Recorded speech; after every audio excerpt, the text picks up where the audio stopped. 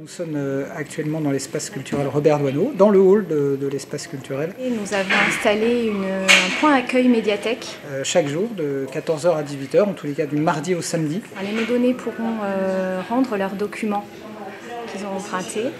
Ils pourront aussi en emprunter, donc soit en réservant comme d'habitude sur le catalogue en ligne et on fera venir les livres de la médiathèque de Meudon Centre à l'espace Douaneau.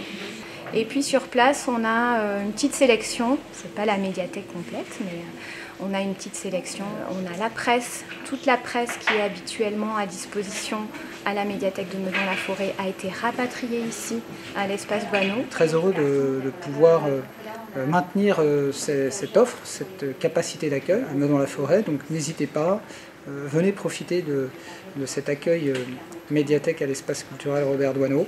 Et c'est l'occasion de garder le contact avec l'équipe de la médiathèque, les soutenir dans l'attente euh, de euh, la réouverture de la médiathèque de la place centrale Henri Wolf, euh, pour laquelle nous attendons les, rapports d'expertise et qui nous permettront de, donner bientôt un calendrier, en tous les cas, nous l'espérons.